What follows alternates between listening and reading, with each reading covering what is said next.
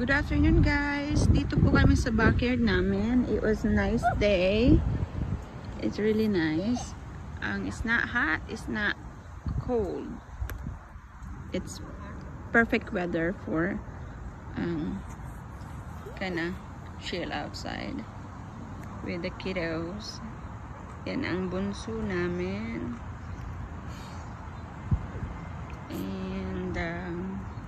Ito naman si Kuya at Evan. Who's Kuya there? Who's Kuya? My brother, Elwood. Raise your hand. I can see your hand. I can't see your hand. And uh, who's the middle one? What's your name? Evan. How old are you, Evan? Seven. Oh, great. Because my name rhymes with seven and eleven. Oh. Evan, seven, eleven. Hmm? Evan, seven. Evan, eleven. See? Mm. My, my name rhymes with two numbers. Let me tell you guys. Let me join you guys, sabi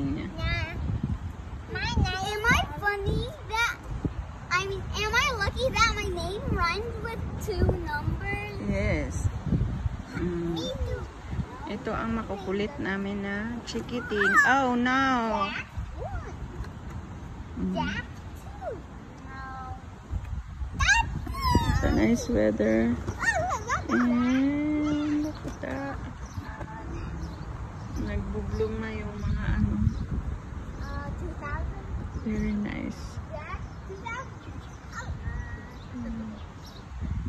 2000. We need mag ano, magmow ng lawn namin. Mm, Ito yung backyard namin. Pag, yan ang neighbors. Ito, big tree. Yan ang bahay, munting bahay. Yan. So, mhm. At least Jack's famous. so, ito ang gawain nitong Oh, mga batang to. Very lucky. Jack and the beanstalk. Wow. Di lang nila alam yan. Yeah, I know. Jack's are very famous. Nung mga bata pa kami, ni, ni anong as candy, hindi mo ka bili. Yung ibibili, bili na lang ng pang-ulam. okay, you guys. Mommy, Yes. Jackie's really famous because there's a lot of things that start with Jackie's name. What? Like a Jack and Jill went up the hill. Yes, and a Jack. And a Jack in the box. Jack in the box. Uh huh. What are you eating?